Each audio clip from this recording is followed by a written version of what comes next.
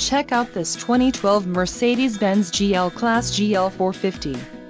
If you are looking for a first-class ride you have found it. This vehicle comes with a reliable 8-cylinder engine, connected to a smooth shifting automatic transmission.